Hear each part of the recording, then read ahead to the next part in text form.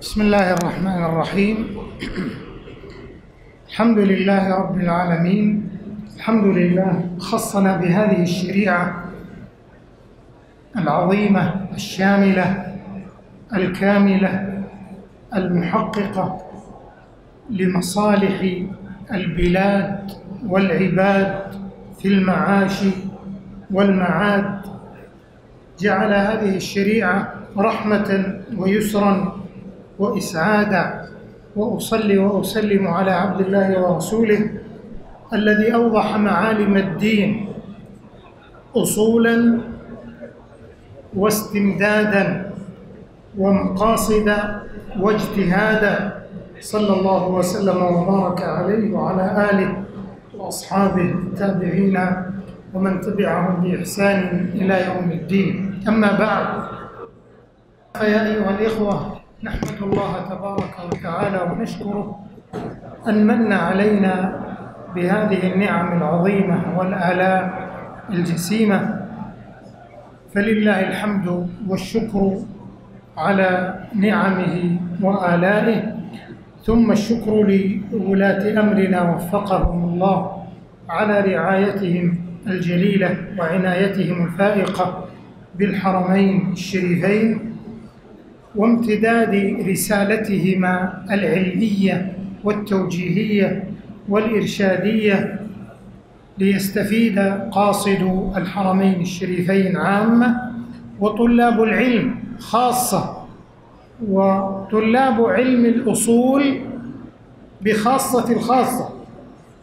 شكرا لزملائنا في وكالة الشؤون التوجيهية والإرشادية على إقامة هذا البرنامج.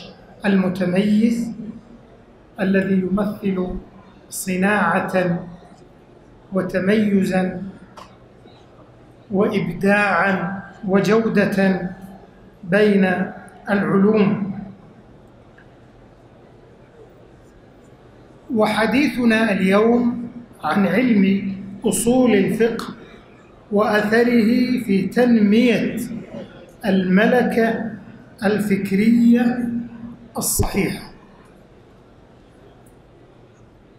الآن هذا العنوان فيه أربع مفردات مهمة. الأولى علم الأصول. ثانية الاستفادة منه في الأثر والمخرج وتطبيقه على العلوم الأخرى. الأمر الثالث تنمية الملكة. الأمر الرابع الملكة الفكرية تشكيل العقلية الإسلامية الصحيحة التي لا غلو فيها ولا جفاء. ولا إفراط فيها ولا تفريط. هذه أربعة. قيود أو محترزات أو ألفاظ. سيكون الحديث حولها وأحسب أن هذا الموضوع موضوع مهم بل في غاية الأهمية لأنه يركز على علم الأصول في مجال التطبيق والأثر لا في مجال التأصيل والتنظير فحسب.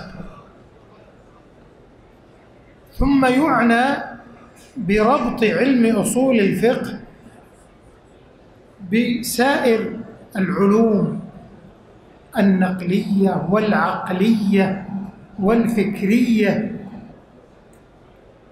كذلكم يعنى بتنمية الملكة.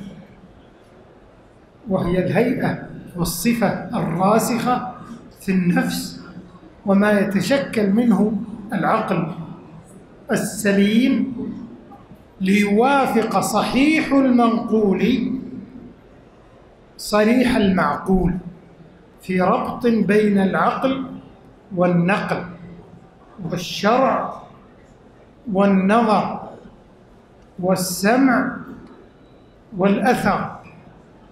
كما تأتي أهمية هذا الموضوع من أن المتأمل والمستقرئ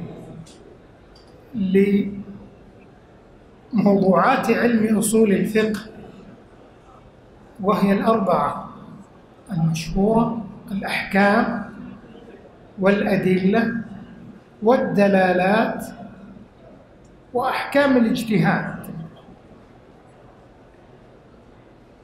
يلفي أن لها الأثر الكبير في تكوين الملكة والعقلية الصحيحة والفكر المستنير الذي يحقق المقاصد والأهداف التي يسعى إليها المجتهد والأصولي بل وحتى المفكر ليكون فكره إبداعيا ومتميزا.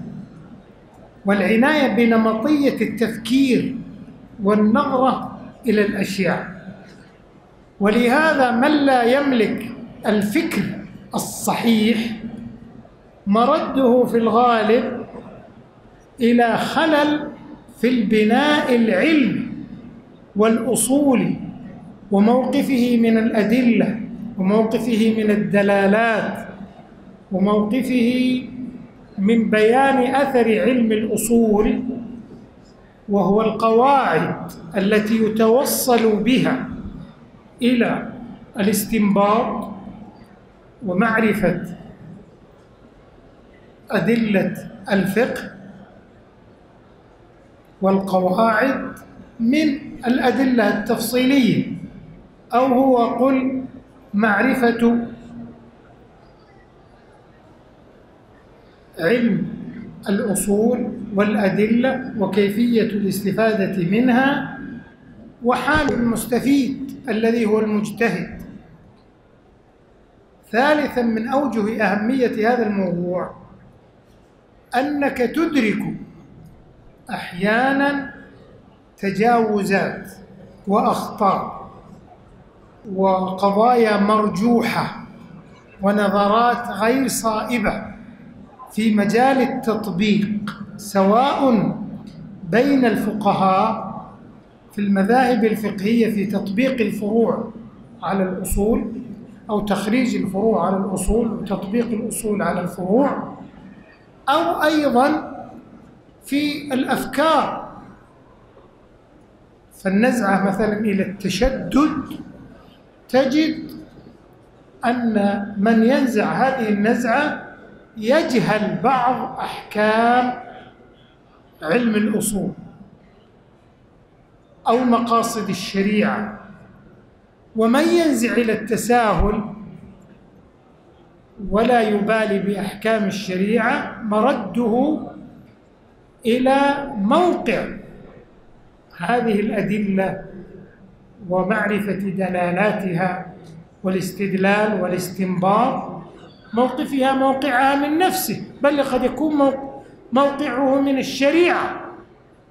موقع الشريعة في نظرته وفكره. ولهذا عبر التاريخ وجدت فرق وجماعات وفروع ومذاهب تجد في استنباطاتها الأقرب إلى الكتاب والسنة وإلى القواعد والضوابط العامة وإلى المقاصد الشرعية وتجد الخلل والخطأ. نكون أقرب في توضيح الأمر إلى مثال أمثلة. المتأمل في فروع الفقهية في المذاهب كلها يجد مثلا من المذاهب من يعنى بالنص ومنها من يعنى بالاجتهاد وعلى رأسه القياس. فالذين يغرقون في القياس قد يكون عندهم النظر إلى النصوص أقل من المذاهب التي تعنى بالأخذ بالنص. مثال آخر. النظر إلى المصالح والمقاصد الشرعية. تجد أن من بعض أهل العلم من يعنى بالمقاصد. ومنهم من لا يعنى بها كثيرا. أعني المصالح الشرعية. والأدلة التي هي محل خلاف بين أهل العلم. فيحصل التجاوز بالنظر إلى قوة المأخذ والاستنباط والاستدلال وقربه من الأدلة الصحيحة والنظر السليم والعقل الصحيح. فمن يوفق للنظر السديد يوفق إلى العناية بالراجح وأقرب الأقوال والفروع والأفكار إلى الكتاب والسنة وإلى مقاصد الشريعة. ولعل من أوجه أهمية هذا الموضوع اليوم الأهمية المعاصرة. عالم اليوم يموج بأفكار متعددة. منها السقيم ومنها السليم يموج بمذاهب ومشارب. إذا بينت وأدركت وحققت المناط في المسائل والقواعد والأصول والأدلة والفروع ونقحتها خرجت بنتيجة سليمة إذا عنيت بمقاصد الشريعة الخمس في حفظ الدين والنفس والعقل.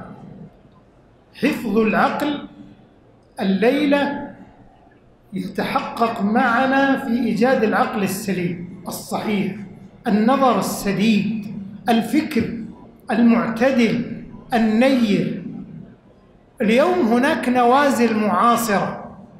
أفكار تموج كفتن كقطع الليل المظلم. يحتار بعض الناس. هل هي صحيحة أو سقيمة؟ هل هي سليمة؟ اليوم سنضع الميزان والمعيار الحقيقي لها. ويوم أن كان السلف والصحابة رضي الله عنهم متمكنين من معرفة الأدلة أصبح المنهج والفكر والاستنباط والاجتهاد عندهم سليما. ويوم أن بدأت المذاهب وخرجت الفرق ومن أولها الخوارج كان لهم نظر لكنه غير سديد. بالنظر إلى أدلة الشريعة وأحكامها فغلبوا جانب الوعيد فتشددوا لأنهم خالفوا المنهج الذي وضعه الصحابة. واستقر عليه أمر الخلفاء الراشدين والقرون المفضلة وإلى اليوم إلى اليوم المذاهب والأفكار بين إفراط وتفريط وبين تشديد وتساهل يؤدي إلى ضياع الأحكام الشرعية. الشباب طلاب العلم تجد في حلائب الفكر وميادين المعرفة والمناهج خلط كبير عند بعضهم في موقفهم من الأحكام من الأدلة من معرفة الدلالات من شروط الاجتهاد من النظرة إلى العلماء من معرفة المناظرة وآداب الحوار العلمي بين علماء المذاهب الإسلامية فلا يضيق ذرعا بالمخالف. لا سيما إذا كان مأخذه في الخلاف سليما. ونظره سديدا. ولهذا كان المنهج هو الأدب بين العلماء. اختلف الصحابة واختلف العلماء في المذاهب الأربعة وغيرهم ولا يزالون إلى اليوم يختلفون لكنهم لم يخرجوا عن حدود الأدب لأنهم بين مجتهد مصيب له أجران وبين مجتهد مخطئ له أجر. وتظل الأخوة والمودة والمحبة فيما بينهم مما جعل الخلاف بين من يعرفون العلوم لا سيما القواعد بمنهج معتدل وميزان ومعيار سليم قليلا. وإذا وجدت بيئة تكثر فيها الخلافات والانقسامات فانظر إلى الخلل في بنائهم في معرفتهم القواعد والأصول والآداب. ابن القيم رحمه الله يقول في الخوارج ولهم نصوص قصروا في فهمها فأتوا من التقصير في العرفان.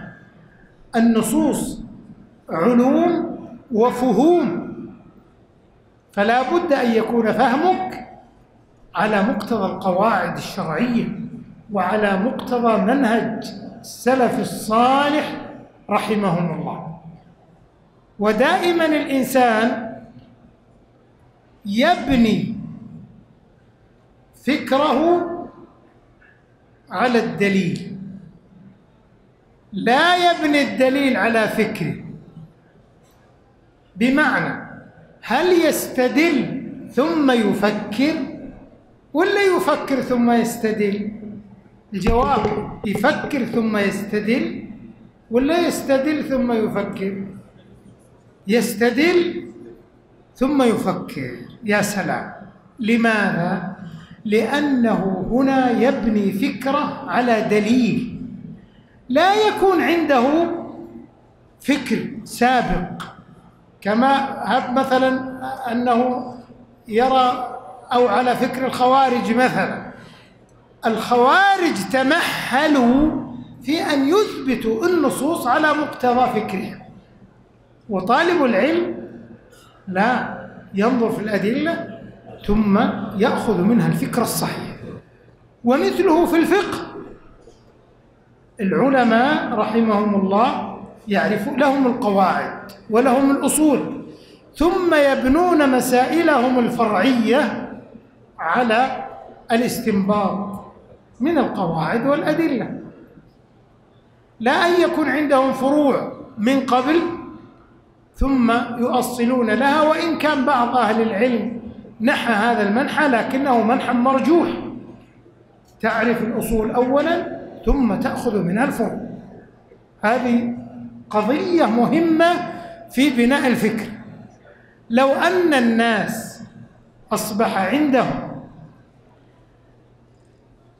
ميدان فسيح في الفكر والنظر إلى المخالف ما أصبحت ترى أن هناك أناس يضعون الولاء والبراء والانقسام والاجتماع على مسائل وأفكار هم اعتقدوها وطوعوا لها الأدلة بل لووا أعناق النصوص.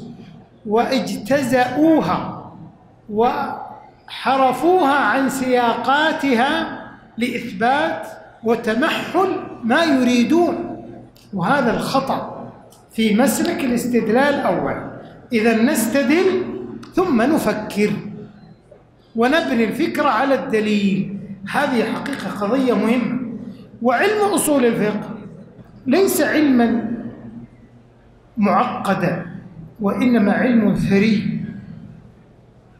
يحتاج الأصولي فيه إلى أن يكون حاضرا في كل مشهد في الاجتهاد في النوازل في الفكر في كل جوانب العلم والثقافة والمعرفة ليكون عنده الميزان والمعيار الصحيح في الفهم الثاقب والملكة الفكرية الصحيحة. علم أصول الفقه قوام الدين. المرقى إلى درجات المتقين. الجواد الذي لا يلحق. حبله المتين. أقوى وأوثق. قاعدة الشرع. يرد إليه كل فكر وفرع. وهو أولى ما صرفت الهمم إلى تمهيده. وأحرى ما عنيت بتسديد قواعده وتشييده. يجتمع فيه معاقد النظر. ومسالك العبر فما أغرز فوائده وأكثر فوائده وفرائده فما نسج فن على منواله ولا علم على مثاله. الإمام الأسنوي صاحب التمهيد في تخريج الفروع على الأصول يقول إن علم أصول الفقه علم عظم نفعه وقدره وعلى شرفه وفخره إذ هو مثار الأحكام الشرعية ومنار الفتاوى الفرعية التي بها صلاح المكلفين معاشا ومعادا ثم إنه العمدة في الاجتهاد. هل يمكن أن ينظر ناظر في الشريعة أو يفتي أو يقضي أو يفرع أو حتى يفكر التفكير الصحيح إلا وعنده إلمام بالقواعد والأحكام والأدلة والدلالات وشروط الاجتهاد.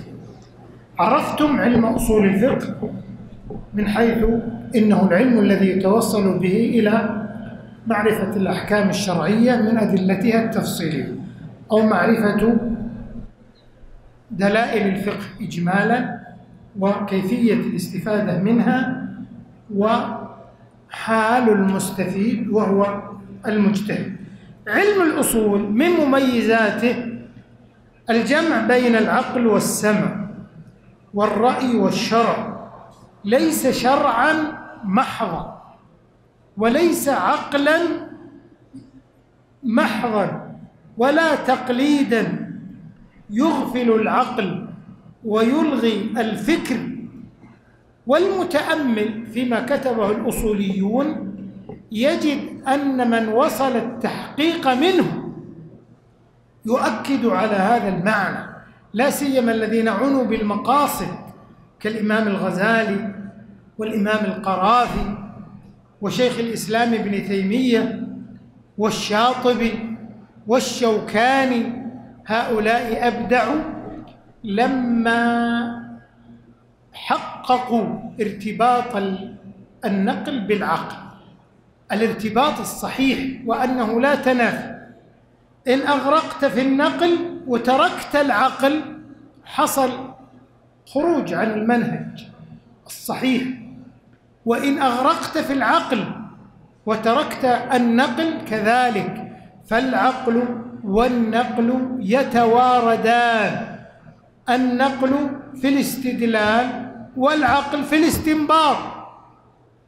ولهذا الشافعي رحمه الله في الرسالة أعمل فكره وعقله في التأمل في الاستدلال. من الذي أخرج دليل الإجماع والاستدلال عليه من القرآن الكريم؟ يقول رحمه الله قرأت القرآن الكريم مرة تلو مرة لأستنبط دليلا للإجماع. فهدي إلى قول الله عز وجل ومن يشاقق الرسول من بعد ما تبين له الهدى ويتبع غير سبيل المؤمنين نوله ما تولى ونصله جهنم وساءت مصيرا.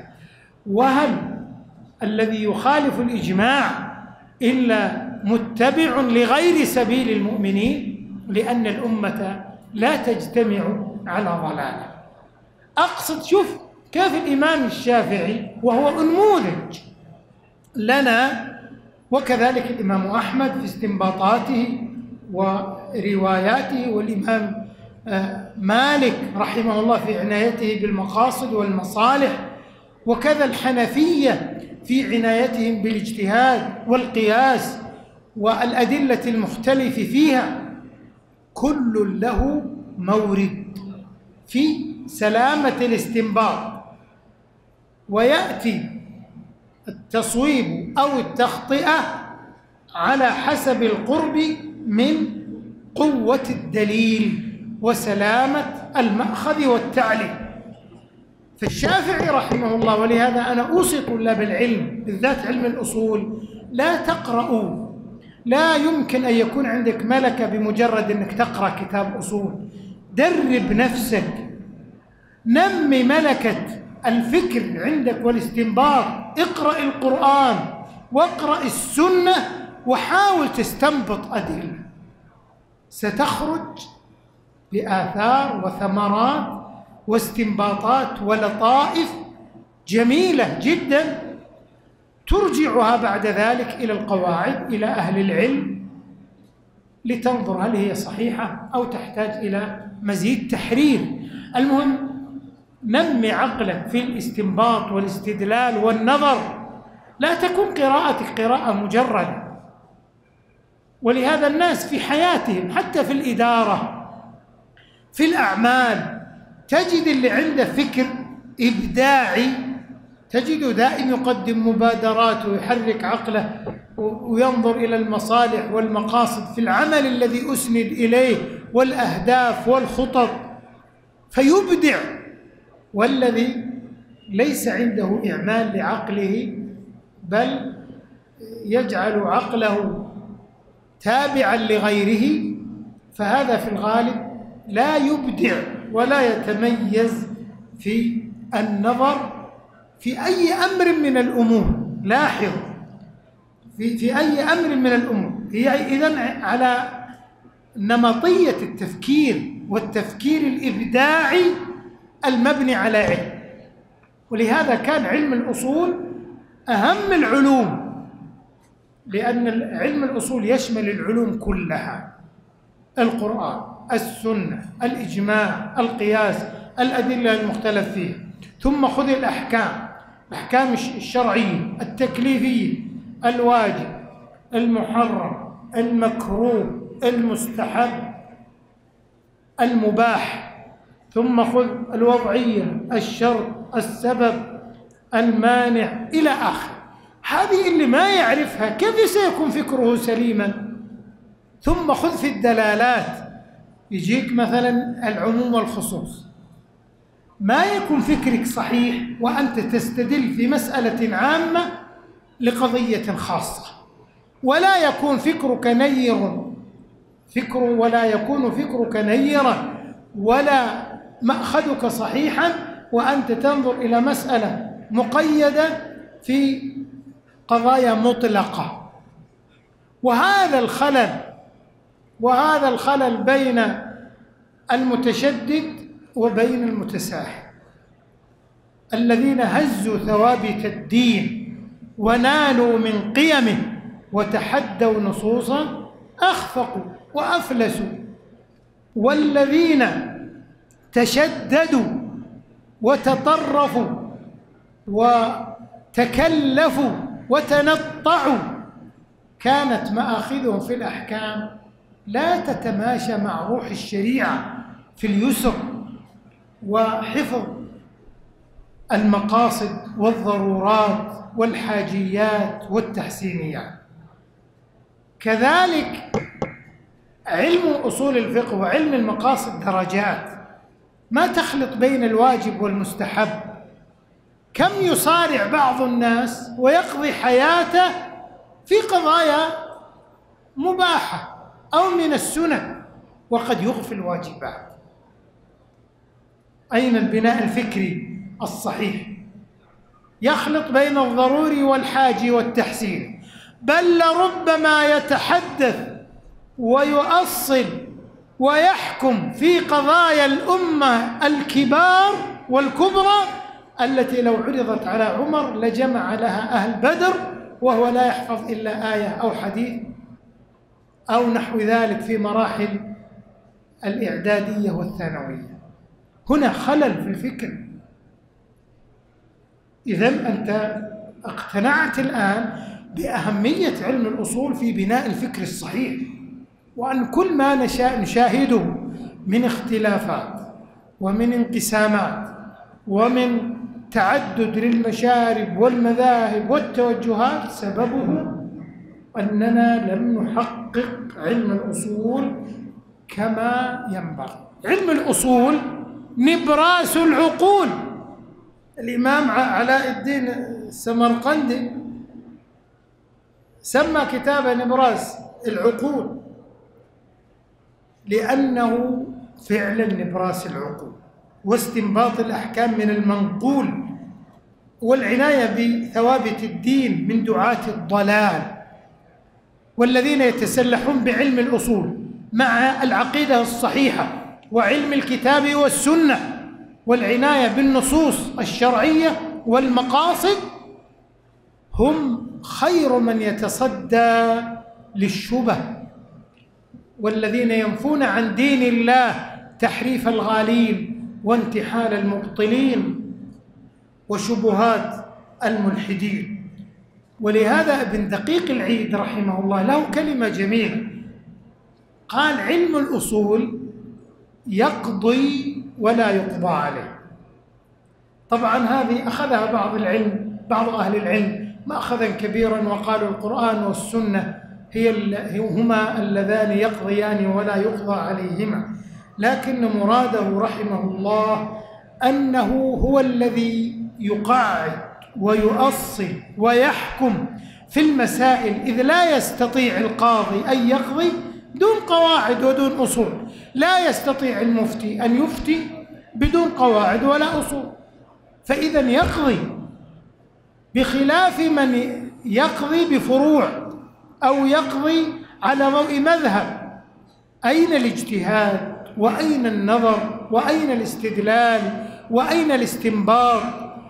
ولهذا علماء الأصول الحقيقة هم العلماء اليوم الذين ينشدون في حل المعضلات والمشكلات على مستوى العصر وعلى مستوى قضايا الأمة كلها. فلا يستطيع مثلا من يحفظ بعض الفروع في مذاهب فقط أن ينظر. لابد أن يكون هناك عنده ملكة اجتهاد بشروطها المعروفة. واليوم الاجتهاد جماعية.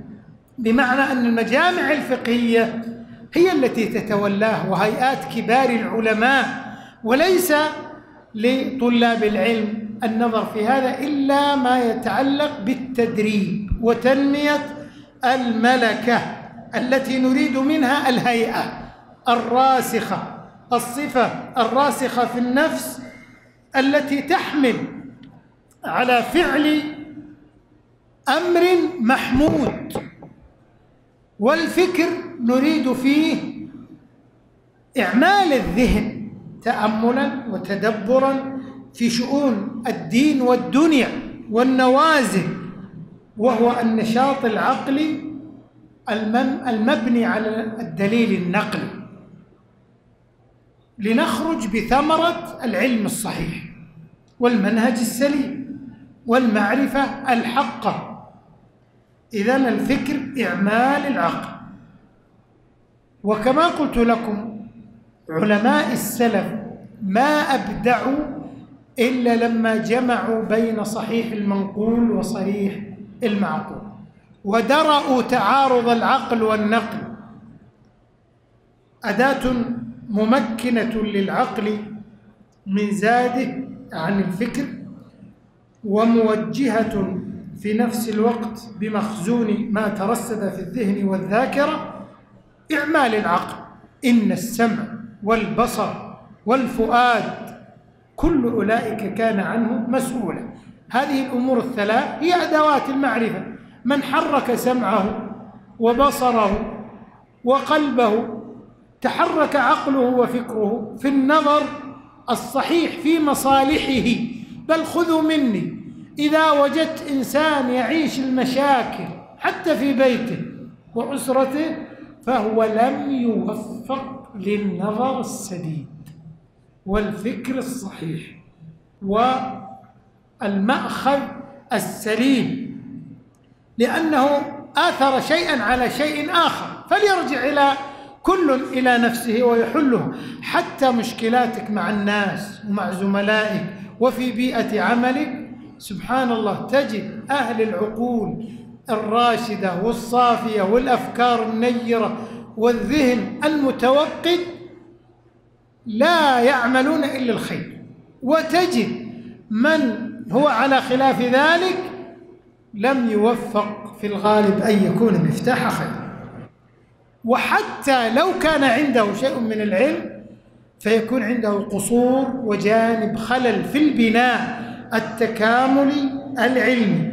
إذا الملكة الفكرية هي القدرة على النظر والتدبر لطلب المعاني المجهولة من الأمور المعلومة اللي هي القواعد والأدلة واللي هي عملية الاستدلال والاستنباط لنصل إلى الأحكام أو أقرب الأحكام على الأقل. يكون هناك نسب لأن الناس مهما بلغت اجتهاداتهم هذا اجتهاده أقرب إلى الصواب إلى 95% إلى 100% هذا إلى 90 هذا إلى 80 كل بحسب إعماله الأدوات. إذا هذه مقدمات لابد أن نتحدث عنها في بين ارتباط علم أصول الفقه والملكة الفكرية الصحيحة من خلال أثر هذا العلم على الفكر الصحيح. هناك علاقة وطيدة بين علم الأصول وبين تنمية الفكر إذ هي الوظيفة والمسؤولية عن الأنماط التقعيدية والمحددة للمسار. ولهذا لا يمكن أن يستقيم منهج التفكير إلا في منهج الاستدلال.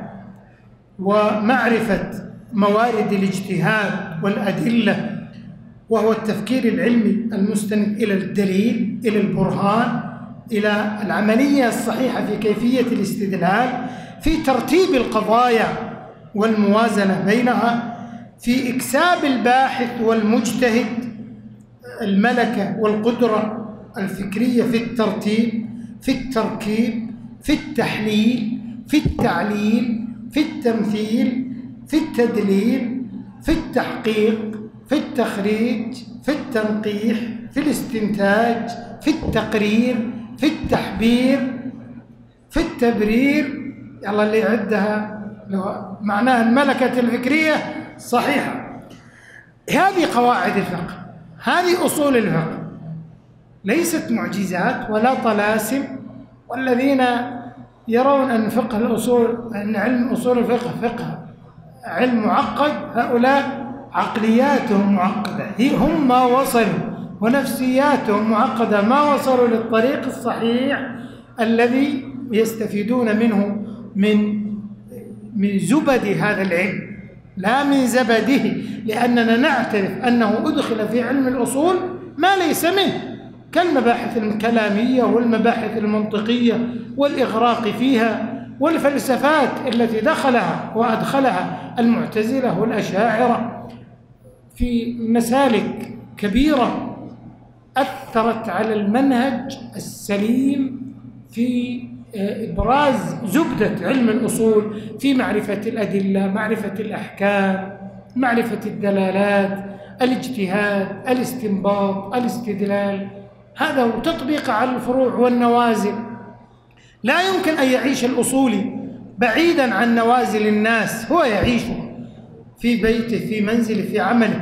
الفكر الفكر العقل الذي أنعم الله به عليك المدركات المحسوسات الدلائل في المعرفة لا بد أن تستثمرها لتخرج عقلية سليمة تستنبط تجتهد. وأنا ضربت لكم مثال في الإمام الشافعي رحمه الله فهو نموذج اسمع ماذا يقول في الرسالة.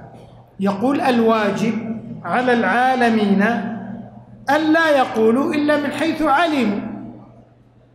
وقد تكلم في العلم من لو أمسك عن بعض ما تكلم فيه منه لكان الإمساك أولى لأنه تكلم بلا قواعد بلا أصول بلا استنباط بلا أدلة بلا طريقة تفكير صحيحة. فالعلم الصحيح دليل الفكر الصحيح. وإذا وجدت إرهابيا فاعرف أنه يحتاج إلى أن يتعلم من جديد ويثني ركبه على العلماء ليعرف قبل أن يكفر وأن يفجر العلم الذي يؤخذ من أهله. ولهذا قلنا لكم أنهم فهموا نصوص في الوعيد وفي الحكم بغير ما أنزل الله وفي النظر إلى التكفير دون معرفة شروطه وأسبابه فتكلموا من غير علم. وإن وجد عندهم بعض العلم لكن ليس عند بعضهم الفهم الصحيح الذي هو على مستوى فهم الصحابة رضي الله تعالى عنهم. قال الإمام الشافعي رحمه الله ومن تكلف ما جهل وأيضا حتى الذين يصادمون الشريعة ويأتون بأمور تخالف الشريعة مردها إلى فكر يحتاج إلى تحرير على ضوء الشريعة. وإنك لواجد في ميدان الناس في هذا الشيء الكبير. قال الشافعي ومن تكلف ما جهل وما لم تثبت معرفته كانت موافق مواقفه أو كانت موافقته للصواب إن وافقه من حيث لا يعرفه غير محمودة وكان بخطئه غير معذور وإذا ما نطق فيما لا يحيط علمه به لم يفرق بين الخطأ والصواب فيه. الإمام الفخر الرازي أيضا قال في الثناء على الشافعي إن الناس قبل الشافعي كانوا يتكلمون في مسائل الفقه ويستدلون ويعترضون ولكن ما كان لديهم قانون ولا أصول كلي يرجعون فيه إلى معرفة دلائل الشريعة وفي كيفية العمل عند التعارض والترجيح فاستنبط الشافعي علم أصول الفقه ووضع للخلق قانونا كليا يرجع إليه في معرفة مراتب الأدلة فثبت أن نسبة الشافعي إلى علم الشرع كنسبة أرسطو إلى العقل. علاء الدين السمرقندي يقول في ميزان الأصول في نتائج العقول وسميته ميزان الأصول في نتائج العقول ليزن العاقل قضايا العقل بهذا الميزان حتى يظهر له الحق مثل العيان فيعتقد الحق الصريح ويرد الباطل القبيح. نأتي الآن إلى الأثر أثر علم أصول الفقه. في تنمية الملكة الفكرية الصحيحة. الغزالي رحمه الله له كلام جميل يقول لا مطمع في الإحاطة بالفرع وتقريره والاطلاع على حقيقته إلا بعد تمهيد الأصل وإتقانه. إذ مثار التخبط في الفروع ينتج عن التخبط في الأصول. ونحن نقول التخبط في الأفكار سببه التخبط في معرفة الأصول. سبحان الله شوف علوم الشريعة كلية يرتبط بعضها ببعض. الذين يدعون أنهم بالقرآن فقط أو بالسنة فقط أو بمعرفة الفروع فقط. يخطئون. واليوم نحن بحاجة إلى العناية بعلماء الأصول وطلاب علم الأصول ونترسم في هذه الوجوه النظرة مستقبلا مشرقا يصنع فيه الأصولي على مستوى التقعيد والتأصيل والفكر الصحيح وحل النوازل المعاصرة والنظر فيها برأي سديد وأيضا علاج كل الأفكار المخالفة للمنهج الحق. عشرة آثار استقرأتها لأثر علم الأصول الفقهي في تنمية الملكة الفكرية الصحيحة. أولا تزكية الفهم وشحذ الملكة لا يمكن أن تكون العقلية زاكية والفكر سليما والملكة مشحوذة إلا بعلم الأصول كيف؟ باعتبار أن علم أصول الفقه يعتمد على الفهم وعلى دقة الفهم في الأحكام في الأدلة في الدلالات بل الفهم الثاقب والنظر الصائب في الأدلة في مراتبها في ألفاظها في منطوقها في مفهومها في عامها في خاصها في تعارضها في الترجيح فيما بينها في مضامينها في مراميها في مقاصدها في أهدافها في مغازيها في تطبيقاتها في في في. لا يمكن أن يكون هناك تزكية وصحة وشحذ للملكة الفكرية إلا بعلم الأصول. ومن رام شحذ الفكر وتزكية الفهم بمجرد الفروع أو بمجرد الفكر أو بمجرد حفظ آية أو حديث لن يجد هذه الملكة ولا تزكية الفهم الفكري السليم. فالفهم والفطنة والفقه. والفقه يا جماعة ترى ليس الفقه حفظ الفروع. ليس الفقه حفظ الفروع. الفقه هو الفهم عن مراد الله وعن مراد رسوله صلى الله عليه وسلم. بل الفهم والفطنة فليس مجرد الفقه هو الحفظ. الفقه فهم وفطنة. واحلل عقدة من لساني يفهم قولي. يفقه قولي. واجعل لي وزيرا من أهلي هارون أخي اشدد به أزري. ها؟ إلى قوله. ها؟ يفقه قولي. يفقه قولي. ليس مجرد أنهم يعلموه أو حتى يفهموه. لابد يفهموه على الوجه الصحيح. وهذا الخبط والخلط في الفروع وفي الخلط بين المرجوح والراجح والنظر في الأفكار وروجانها والفتن اليوم الكثيرة كلها ترى مردها إلى عدم التزكية في الفهم. ويعلمهم الكتاب والحكمة ويزكيهم. وشحذ الملكة الفكرية. هذا الأثر الأول. الاثر الثاني المنهج الاستنباطي والاجتهادي بمعنى الفكر الاستنباطي الاجتهادي لا يمكن أن يكون في فكر أو ملكة فكرية دون علم أصول الفقه البتة كيف ذلك؟ فتح آفاق الاجتهاد ونبذ الجمود والتقليد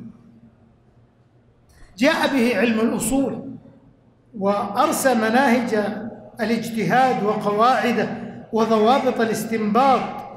ولهذا فإنه هو العلم الذي يبحث عن القواعد أو في القواعد للاستنباط من الأدلة. بخلاف الفقه الفقه لا هو معرفة الأحكام الشرعية. لا هنا المعرفة بالأصول بالقواعد. بكيفية الاستنباط بالاستدلال.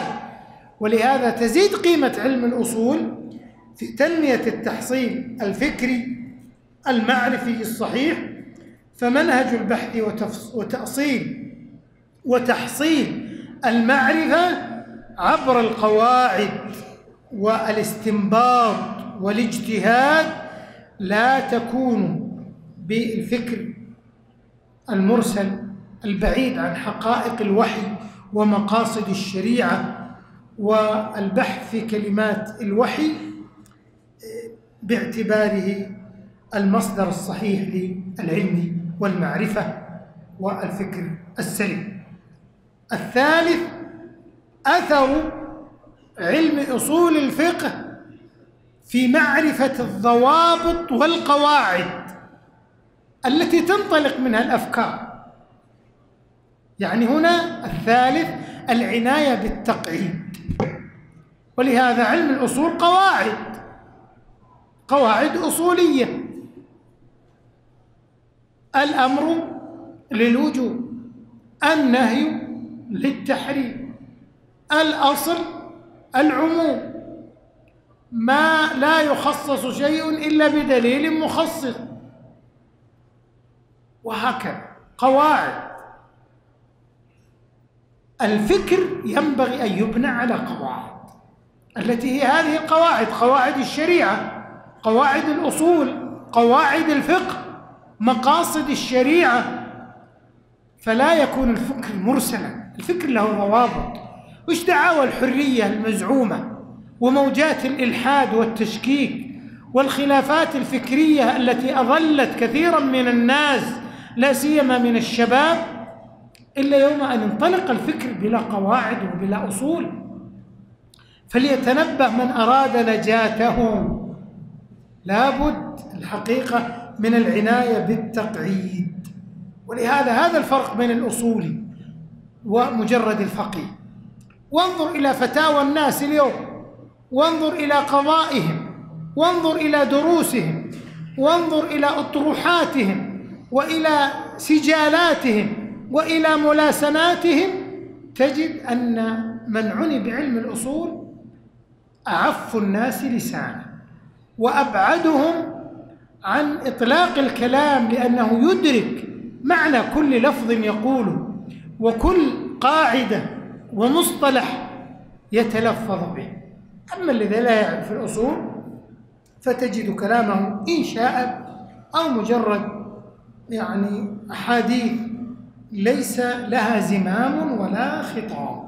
وأخطر من هذا حينما تتعدى النصوص والقواعد إلى المخالفات الصريحة.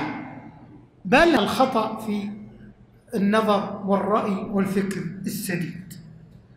لهذا أكثر الفرق والجماعات والأحزاب تنطلق من قواعد ولكنها قواعد تخدم فكرا منحرفا. لم تنطلق من القواعد الشرعية والأصول المرعية. فلنتنبه إلى أثر التقعيد والتأصيل في تنمية الملكة الفكرية. رابعا فقه الأولويات. تجد الأصولي دائما يتكلم في الأحكام. عن الأمور الواجبة والأمور المحرمة. لا يغرق كثيرا في السنن ولا في المكروهات. وإن كان نحن عندنا في الشرع نجتنب المحرمات والمكروهات ونفعل الواجبات والمستحبات. حينما تسمع أن أناسا يختلفون في صلاة التراويح. هل هي عشرين ركعة ولا أحد عشرة ركعة؟ ويصل فيهم ببعض الدول الإسلامية إلى أن يقتتلوا في المسجد. هل هذا الفعل مبني على قواعد سليمة على أدلة صحيحة على حتى نظر على حتى هنا جاهل هؤلاء الأصول جاهل هؤلاء القواعد. كلها سنة.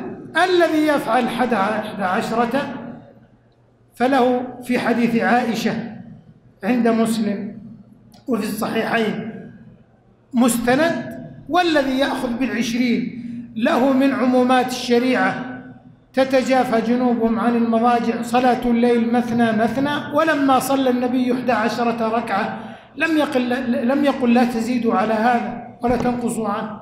إذا في مساحة لأنها كلها سنن.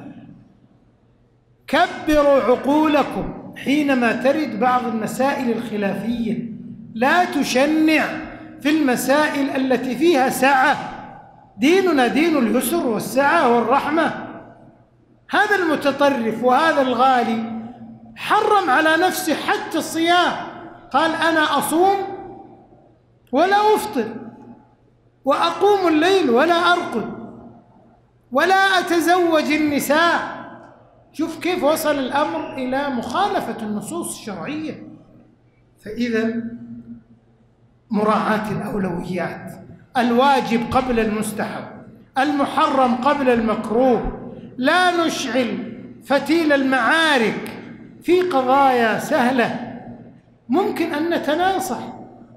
فيما بيننا ولا نشنع وأخطر من هذا أن تبنى أحكام. يكفر أو يفسق أو يضلل. من له اجتهاد في بعض المسائل؟ أو يصنف اليوم في المسائل الفكرية بمجرد التزامات ولوازم حملها فكر سقيم هو أصلا يحمل الضغينة على المسلمين بشق عصا الجماعة وإثارة الفرقة والاختلاف في أفكار تموج موج البحر. لا عاصم منها بعد الله إلا سؤال الله الثبات والوقوف حيث وقف السلف ومعرفة القواعد والأصول والأولويات.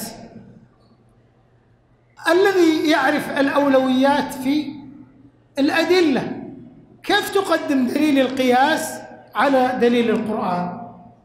كيف تقدم دليل الاستصحاب مثلا على دليل السنة إذا صحت السنة؟ وهكذا. أو بعض الناس في الأدلة المختلف فيها يقدمها على الأدلة المتفق عليها.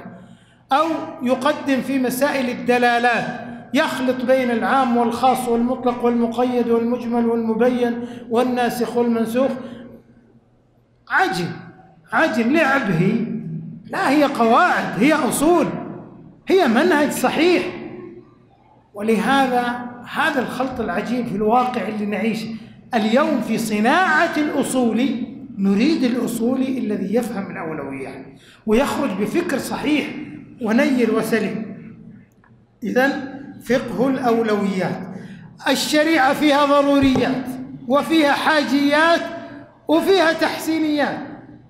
بعض الناس يعد التحسينيات ضروريات. والواجبات مندوبات والمندوبات واجبات والنواهي مكروهات وفيها محرمات.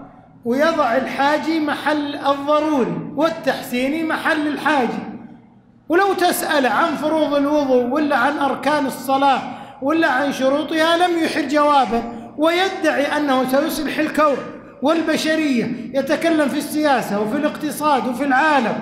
وفي الأماكن الشرعية وينصب نفسه في الفضاءات وفي مواقع التواصل أنه على الحق وحده وأن الناس كلها إلى جهنم وبئس المصير.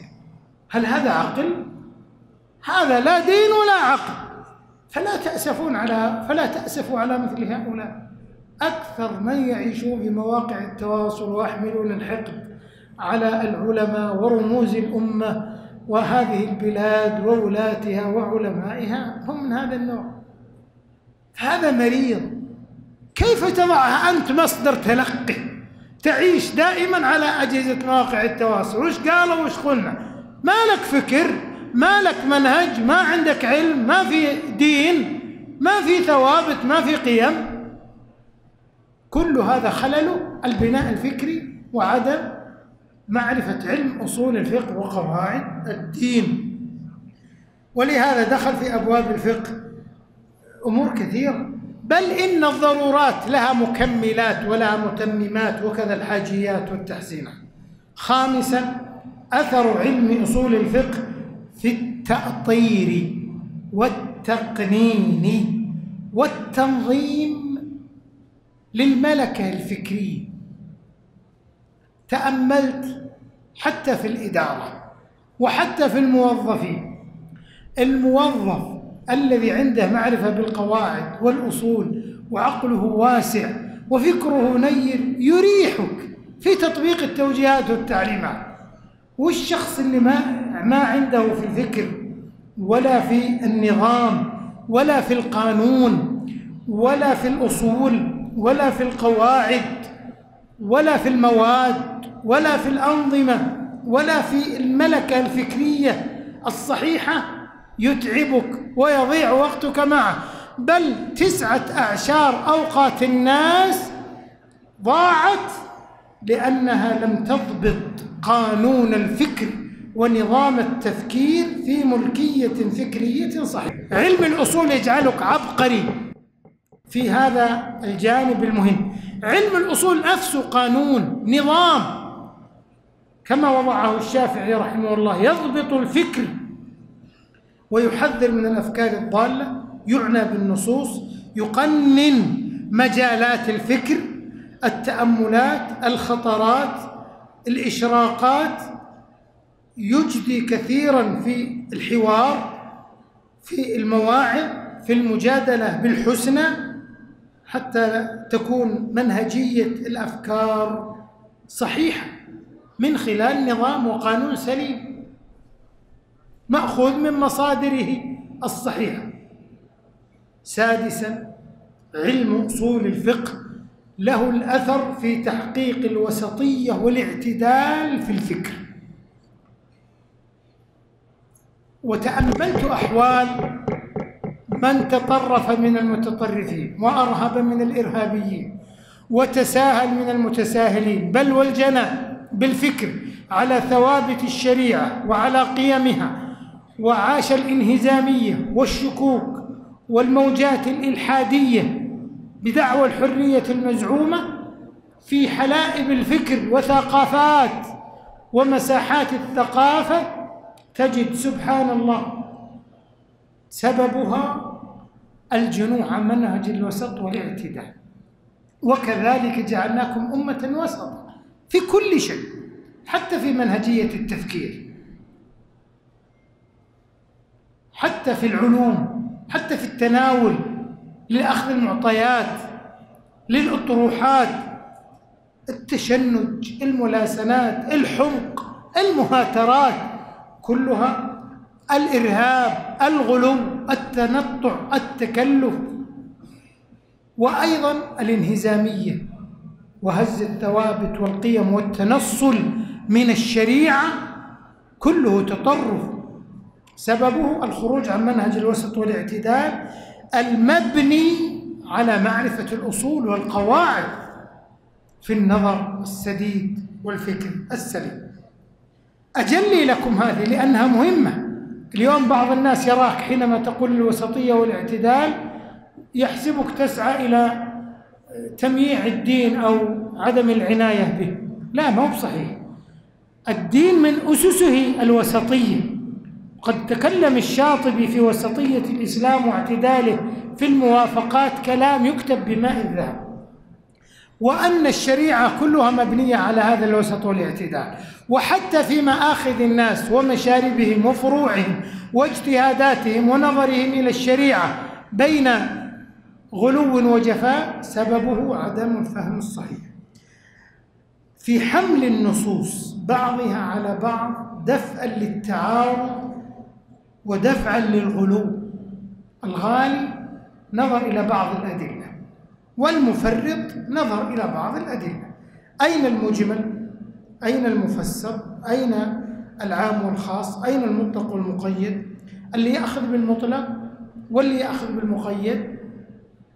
بدون ضوابطه وبدون معرفة الحالات التي ذكرها الأصوليون معناه أنه خرج عن الوسط والاعتدال فساء فهمه في الفروع وساء فكره وعقله في المنهج الصحيح.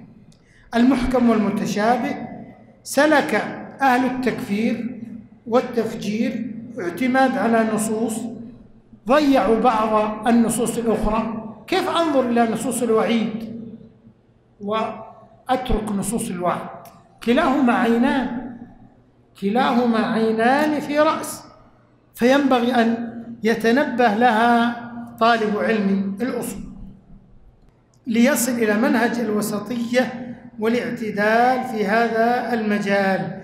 كما تظهر منهجية الوسط والاعتدال في الخلافات وتحديد ما يعرف بتحرير محل النزاع وتحديد وتحييد مثارات الانحراف الفكري في ضبط الأدلة والدلالات والأحكام ومسائل الاجتهاد في مسائل الاجتهاد إما أن يكون كل الناس مجتهدون إما أن يكون كل الناس مجتهدين أو أننا نسد باب الاجتهاد أين الوسط والاعتدال؟ نقول باب الاجتهاد مفتوح لكن لمن تحقق له شروط الاجتهاد المعروف. إن انحراف كثير من الطوائف والفرق سببه الجنوح عن منهج الوسط والاعتدال. سابعا في الآثار لعلم الأصول أثره في تحقيق التكامل بين العقل والنقل. شوف بينهم تكامل. ما بينهم تعارض نصوص الشرع تعضدها أيضا دلائل العقل. صحيح النقل وصريح العقل. ألف شيخ الإسلام كتابا نفيسا في درء تعارض العقل والنقل أو موافقة صحيح المنقول بصريح المعقول وهكذا كتب الأصول معنية بالعناية في الجانب النقلي والجانب العقلي. وإذا طغى جانب على جانب بمعنى أنه لم يحقق التكامل والتناغم بين النقل والعقل حصل القصور في التصور الفكري وفي النظر الفكري الصحيح والملكة الفكرية السليمة. فليس هناك تعارض أبدا. تعارض عندك أنت في فهمك أنت في عقلك أنت. لكن ظاهرها التعارض لكنه في الواقع والصحيح ليس هناك تعارض. فوربك لنسألنهم أجمعين. فيومئذ لا يسأل عن ذنبي إنس ولا جان هذه يسألون وهذه لا يسألون. أحد يجي يقول هناك تعارض؟ تعارض في فهمك أنت. وإلا القرآن ليس فيه تعارض. لأنه في عقلك أنت قال ابن عباس في موضع يسألون وفي موضع لا يسألون. انظر الفكر الصحيح العقل السليم النقل الصحيح التأصيل آه، القواعد التي انطلق منها الصحابة رضي الله عنهم. بل حتى في مجالات آه، التعارض الكثيرة الكثيرة بين النقل والعقل. يقول الغزالي رحمه الله ودليل العقل لا يجوز أن يقابل النطق الصريح من الشارع لأن الأدلة لا تتعارض. ما يجي واحد يقول يعني لابد أننا نحلل في العلوم المعاصرة مثلا موضوع قضية إذا سقط الذباب في إناء أحدكم. بل أثبتت العلوم اليوم موافقة العقل للنقل. كذلك علم الأجنة علم الأنابيب النوازل في العبادات في المعاملات في القضايا والأحوال الشخصية في كثير من الأمور في استخدام التقانة في كثير من مصالح الدين والدنيا. كل هذه يدل عليها جمع بين النقل والعقل. والمقاصد الشرعية. سابعا حفظكم الله أو ثامنا تنمية الملكة الفكرية في تحقيق المنهج الاستدلالي. المنهج الاستدلالي هنا بالمعنى العام اللي هو إقامة الدليل السمعي على المسألة أو العقلي وليس المراد فقط المعنى الخاص الذي ذكره الأصوليون في أنه ما ليس بنص أو إجماع أو قياس بل عموم الاستدلال النقلي والعقلي لعلم أصول الفقه. الأثر في تنمية وتحقيق المنهج الاستدلالي الصحيح. ولهذا صرف الأصوليون جهودهم في حصر الأدلة والعناية بها أدلة مختلف فيها أدلة متفق عليها أدلة سمعية أدلة عقلية وضعوا ضوابط للاحتجاج بها كيفية استثمار الأحكام منها ما يصلح للاحتجاج ما لا يصلح وضع الضوابط الشروط رتبوا طريقة الاستدلال وهكذا بوجوهه المختلفة ومراتبه وبهذا يظهر أثر علم الأصول في تحقيق التميز في الاستدلال الفكري في مجالات ثلاثة في ترتيب الأدلة والأحكام في ضبط الاستدلال بالنصوص في معرفة العلاقة بين الأدلة الكلية والقضايا الجزئية لنصل إلى الحكم الصحيح عن طريق فكر سليم ونظر سديد ونقل صحيح. تاسعا أثر علم الأصول في تنمية الملكة الفكرية في الاستثمار. الاستثمار هذا عبر عنه الغزالي. ترى ما هو بالاستثمار في سوق الأسهم والسندات؟ لا في أسهم علم الأصول في أسهم الفكر الصحيح. ليس الاستثمار في العقار ولا في المال لا الاستثمار الحقيقي في معرفة وإدراك الأحكام الشرعية الإدراك السليم. ولهذا سمى الشاطبي رحمه الله وكذا الغزالي تحدثون دائما عن الاستثمار. والغزالي قسم علم الأصول إلى ثمرة ومستثمر واستثمار وأدلة الاستثمار أو طريق الاستثمار الصحيح. المثمر المنتج وش يخرج؟ يخرج الترف العلمي والترف الفكري والفضول الذي يعيشه كثير من الناس. الأصولي يمقت الترف في حياته وفي حياة الناس. والترف الفكري أن ينشغل العالم أو المفكر بإطروحات. أحيانا يقولون عنها جدل. جدل غير منضبط ولا الجدل الصحيح وجادلهم بالتي هي أحسن. ولا قضايا أكل عليها الدهر وشرب يضيع تضيع أعمار الناس. الدجاجة من البيضة ولا البيضة من الدجاجة. وخذ. هذا أين الفكر الصحيح؟ ولا يجلس كل حالتهم. يتصارعون ويتعاندون. أرض كروية ولا بيضاوية تدور ولا تثبت. أنت يا أخي اشتغل بدينك وعبادتك. وعلمك وعملك وطريقة تفكيرك وما أسند إليك. الفضول الذي يعيش كثير من الناس في متابعات السياسات والاقتصاد ومواقع التواصل وغيرها من القضايا الكثيرة التي تملأ الفضاءات. كلها سببه في نظري الملكة الفكرية المستثمرة في ضبط الأوقات وعملية الاستنباط وأيضا تنقيح وتحقيق وتخريج المباحث والمناطات والاهتمامات بحيث الذي ليس له ثمرة وليس له فائدة ولا ينبني عليه علم ولا عمل كالمباحث الكلامية والإغراق في اللغوية والجدلية عند علم الأصول. ولهذا قال الشاطبي كل مسألة في أصول الفقه لا ينبني عليها فروع فقهية أو آداب شرعية فوضعها في أصول الفقه عارية.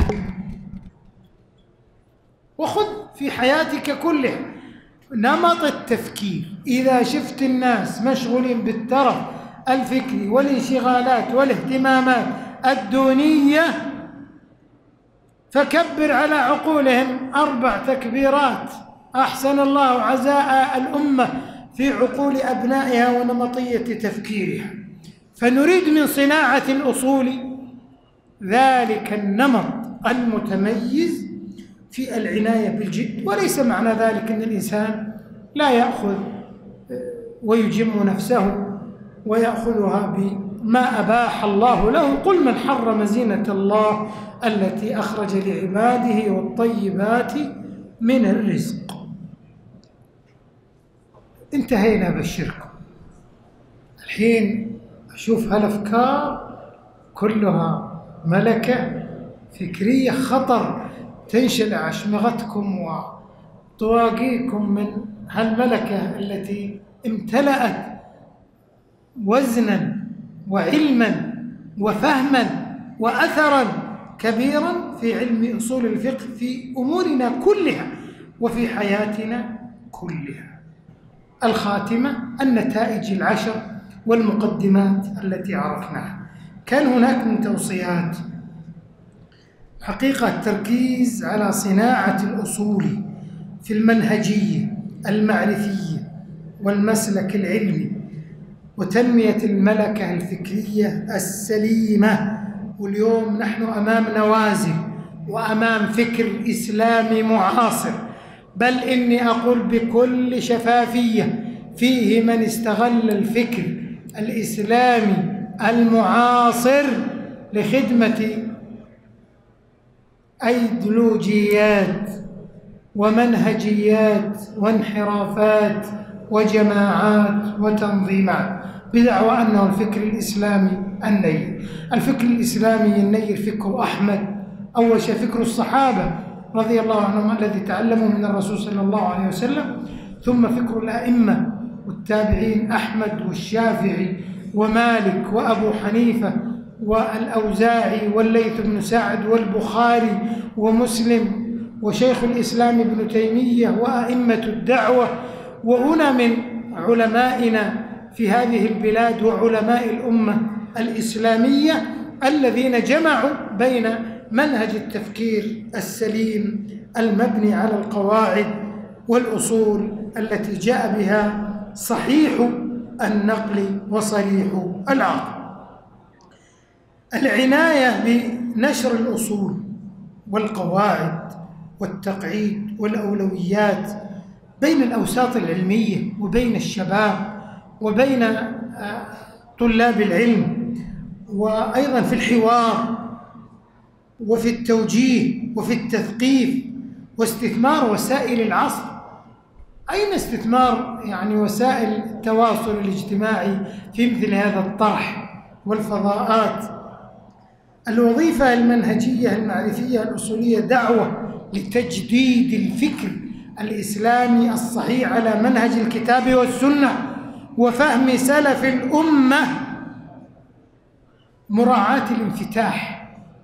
بالضوابط الشرعية وأيضا اليسر والسعة والسماحة وأدب الخلاف بين الناس ولا سيما بين أهل العلم وبين طلاب العلم وأن لا يخلد الناس إلى التصنيفات ولا إلى الانقسامات ولا إلى التفريق بين الأمة.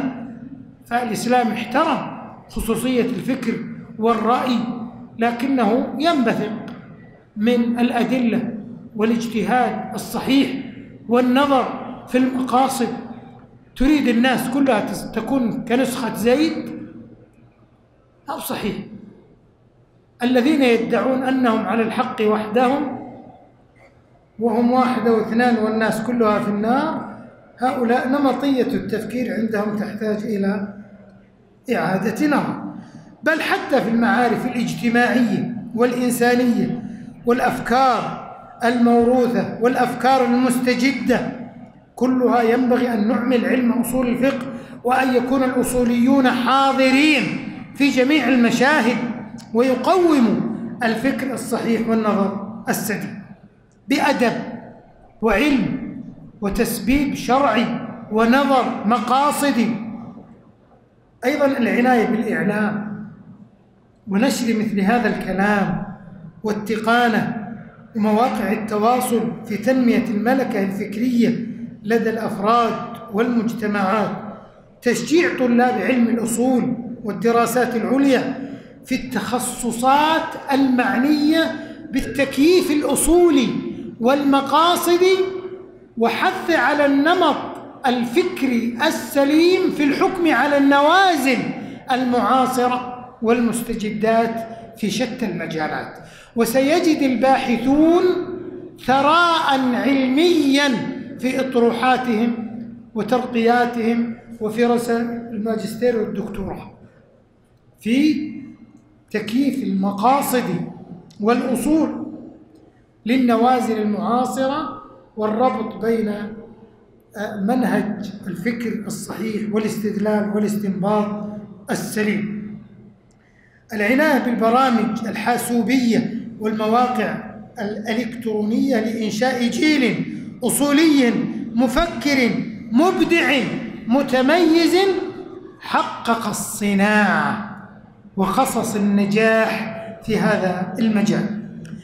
الدعم لإبراز الجوانب المعرفية الكاملة في علم الأصول وأيضا أثره في الفروع والدراسات العامة والأبحاث المحكم العناية بوسائل وسبل تعزيز التوسط والاعتدال ومعالجة الفكر المنحرف والخلل حتى الإداري. وأنا في نظري حتى ما يعرف اليوم بالفساد المالي أو الفساد الإداري كله سببه الخلل في البناء الفكري المبني على الخلل في معرفة الأصول والقواعد التي جاء بها علم أصول الفقه. العناية بالكراسي البحثية وأن يكون هناك آثار في ضبط الفروع والأصول والمعارف والأفكار في ربط بالنوازل المعاصرة التي نعيشها. قدم في هذا أبحاث عاشرا وأخيرا. يمكن أن يكون هناك برامج علمية وتحفيزية هادفة وإعادة بناء الملكة الفكرية للجيل والنشء والشباب وإعدادهم من المراحل المتوسطة والثانوية والجامعية فضلا عن الدراسات العليا. هنا نخرج جيل يعالج كثير من الانحرافات الموجودة التي نعيشها اليوم. ونحن إن شاء الله متفائلون بجيل أصولي فكري متميز سلفي المعتقد. آه، يسير على منهج الكتاب والسنة. لا يدخل الأمة في فرقة وخلافات وانقسامات وإنما يحملهم على أحسن المحامل ويؤكد لهم أخوته الإسلامية ويقدر ويحترم اجتهادهم وآراءهم حتى نحقق الاعتصام بالكتاب والسنة ونحذر من التنازع والاختلاف. واعتصموا بحبل الله جميعا. ولا تفرقوا ولا تنازعوا فتفشلوا وتذهب ريحكم واصبروا إن الله مع الصابرين. أسأل الله سبحانه وتعالى أن يرزقنا وإياكم العلم النافع والعمل الصالح وأن يفقهنا في الدين وأن يعلمنا القواعد والأصول وأن ينمي أفكارنا على منهج الكتاب والسنة وأن يوفق ولاة أمرنا لكل خير وأن يجزيهم على ما يقدمون للحرمين الشريفين وقاصديهما وتعزيز رسالتهم العلمية والتوعوية والفكرية والاعتدالية خير الجزاء. وحفظ الله بلادنا وبلاد المسلمين من كل سوء ومكروه وزادنا أمنا وإيمانا واستقرارا وسلاما ومحبة ووئاما وجعلها سخاء رخاء وجمع كلمة الأمة على الكتاب والسنة إنه الجواد ذو الكرم والمنة. حفظ الله علينا ديننا وعقيدتنا وأمننا واستقرارنا وكفى الله المسلمين شر الكوارث والزلازل والفتن وسوء المحن ما ظهر منها وما بطن إنه جواد كريم وآخر دعوانا أن الحمد لله رب العالمين وصلى الله وسلم على نبينا محمد وعلى آله وصحبه أجمعين والسلام عليكم ورحمة الله وبركاته.